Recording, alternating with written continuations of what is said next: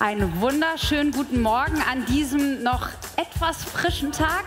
Trotz dieser Temperaturen und trotz dieser etwas sportlichen Wetteraussichten. Wir haben ein tolles Programm für Sie. Bei Sonne feiern kann jeder.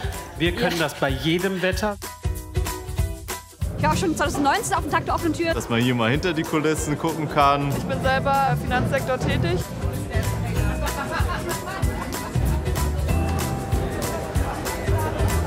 Schön, einen Einblick zu bekommen. So allgemein, was hier so passiert. Am besten hat mir bis jetzt gefallen. Diese Riesenhalle, ich wusste nicht als Frankfurter, dass wir so ein schönes Gebäude haben. Ein Programmpunkt, der war auch schon beim letzten Mal sehr, sehr beliebt. Natürlich der Virtual Reality Film. Da können Sie übrigens für Achim Nagel auch mal ins Büro gucken.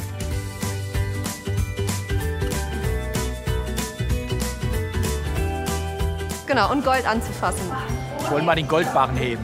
Ja, einmal 700.000 Euro in der Hand haben. Ich habe ihn noch nicht ganz hoch bekommen, da müssen wir ein bisschen mehr trainieren.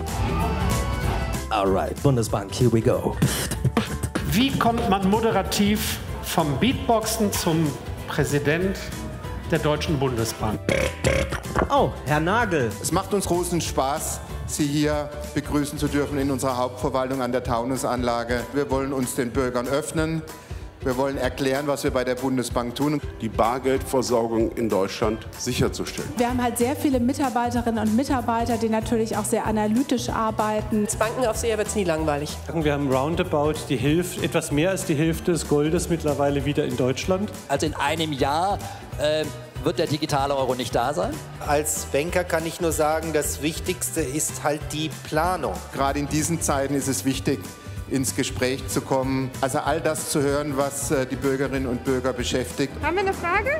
Ob er sich in seinem Büro richtig wohlfühlt? Es ist natürlich aktuell... Äh das, was ist Geld wert ist, die Inflation ist natürlich ein Riesenthema. Ja, ich glaube, ich würde fragen, wie können wir sicherstellen, dass auch die, die nächste Generation genug Geld hat, um Immobilien zu kaufen oder selbstständig wohnen zu können. Yeah. Rallyes und so haben auch echt Spaß gemacht. Ja, dass das alles so ein bisschen interaktiv ist.